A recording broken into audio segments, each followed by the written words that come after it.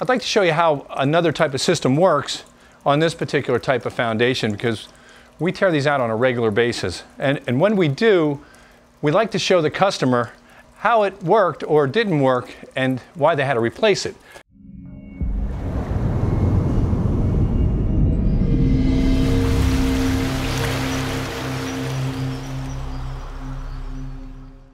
We tear out this type of system with, in this particular type of foundation on a regular basis. And what we like to do is demonstrate to customers how this system, well, how it was supposed to work and how it actually really works. And it becomes pretty clear why they needed to replace the system. So this gutter would sit right there. Now, to simulate water coming through where basements leak would be right at that corner where the footing and the, and the wall meet. So I'm just gonna, I'm just gonna run some water back here, nice and slow. And if you can see underneath, it doesn't go directly into the gutter the way that the way they would lend, have you believe. You can see water's flowing underneath it. Now, if you could see how much water is flowing underneath this right now, and that's how seepage occurs. Imagine this system around your entire foundation, and when you get a heavy rain, letting that kind of water flow directly underneath it, and you can see it's pouring right down across and filling up the area underneath the floor. So I'm going to stop the flow here. And now this thing should be filled with water if it's, if it's working on how it's portrayed to work. And if you look, it's completely dry inside.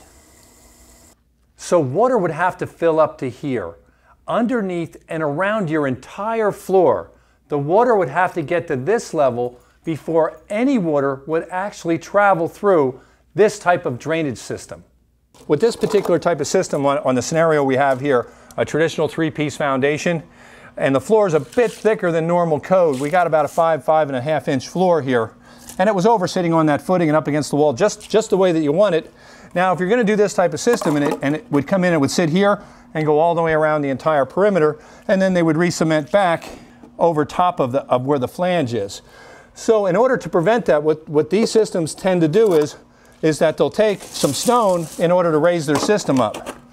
By elevating the gutter this way, water just travels through the stone and floods the aggregate level underneath your floor and around your entire floor.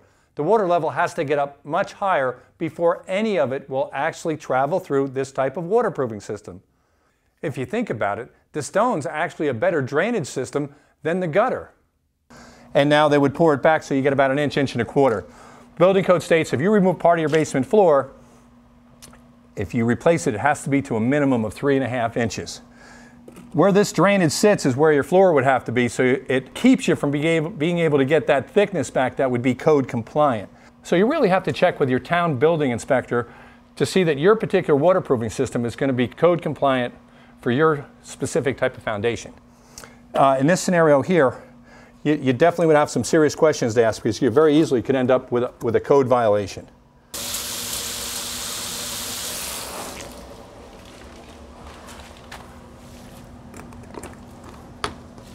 Okay, we're getting putting our hose down.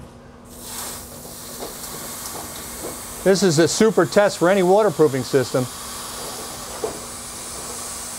We get up to full velocity. We're also doing it while our Supercrete product, the cement that we put back, is still wet. If we were doing this test on some of those drainage systems that sit on top of your footing, right now we'd be seeing big puddles of water out around our feet over on top of the floor. You can see this is blasting and nothing. We could, we could leave this on permanently and uh, you'd never get water on top of the floor. One of the important aspects of a waterproofing system is that you have peace of mind that the system that you've installed is going to handle whatever kind of weather comes your way. So if you have any questions or concerns about your basement, by all means give us a call or you can go to our website, americandry.com, and you can always leave a question in the comments down below, and we'll get back to you as soon as possible.